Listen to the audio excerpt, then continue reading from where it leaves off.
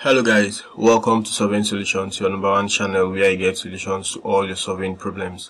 It's 9 serving you in class again today, how have you been? On today's video, we are going to show you how to move your data from Excel to ArcGIS, right, good. Now we have um, some points which are actually some federal universities in Nigeria. We have their location and then we also have the we have the addresses and then we also have their location in latitude and longitude right? Good. So we are going to move this data or let's say this year these are these um, federal universities in Nigeria some of the federal universities in Nigeria to what?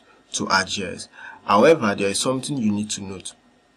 Before ever you move it to um, ArcGIS, you need to format your data to a particular format, which means you need to save it to a particular version of what of um, Excel, right? Good. So for us to move it from Excel to ArcGIS and also what to label it. So let's come down to File, then we go to Save As, then we are saving it on this folder Excel to ArcGIS. Now on this folder, let's um, now save it as um, some federal universities in Nigeria SS22 right good. Then the file type is actually Excel 97 to 2023 workbook. Now this is the compatible um, file type that um, um, ArcGIS recognizes. We are going to confirm that. So let's just save that right good. So we have saved it in that um, compatible format Good, so we are now on what on ArcGIS. Now, first thing first, let's see what the properties of what this layer, or we can just say the data frame properties, right? Good. So the CRS is very important because the CRS we are trying to bring in is actually WGS84 because the coordinates are in what they are in lat and long, right? Good. As you can see, the coordinates are in latitude and longitude. Therefore, the coordinates are WGS what 84 so we just um, apply and then we say close. Then we come down to files we go to add data then we select what add xy data. Remember we told you that if you don't um, format your data to that um, compatible format you might not be able to access it. So now let's browse. Um, let's do the folder connection. Good. So we've connected it to the folder. Now this is the default um, some federal universities in Nigeria so let's click on that and add. Now you can see the error message failed to connect to database and underlying database error code class not registered. Now let's now look at um, the let's now look at the one we saved on our own which is what some federal universities in Nigeria SS22 right good so let's um, click on that then add. So we now have the sheet that we want to add then we can just add that. So you now see that if you have not saved it in that um, ArcGIS compatible um, Excel format you might not be able to access it on what on ArcGIS so you have to pay attention to that. Then the fields from our what from our data the X field is what the longitude. So if your field is not well formatted you can just use the drop down to format it very well. The Y field is what? The latitude right? Good. And then it has by default what extracted the CRS. If this is not what you want, or maybe if there is an error, you can just um, edit it. Then navigate to wherever the CRS you are using is, and then you select right good. So since we are using um, WGS 1984, we can just go with that. Now, warn me if the resulting layer will have um, restricted functionality. Yes, this layer will have um, a restricted functionality, and we are going to see why because um, there is no um, there is no um, specific ID. So let's leave that on and then let's click on OK. Good. So they say the table you specified does not have an object ID field, so you will not be able to select query or edit the feature.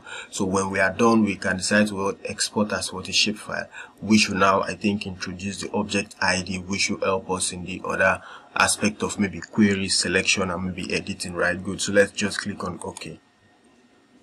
Now our points have been added we can decide to work on the symbology let's um, I prefer using red and then let's increase this to something like 10 and then let's click on OK. Then we can just um, bring in a base map. Let's say we are using OSM good. So you now see how they are what how they are located. Now that's not all. We can still decide to what to label the features. However, since the fonts are not well positioned, we can just modify how the labeling will appear. So you just double click on what the layer. Then since the labeling is already on, you see what label features in this layer. But what we want is that yeah, the field is actually okay. We are using the name field. What we want to do is we want to change the font type and then the font size um, subsequently. So let me say we are making this 10 and then we are making it bold. Let's also change the color to something like, um, let's say we are using blue. Then we just um, apply and then okay. So you've seen that with what?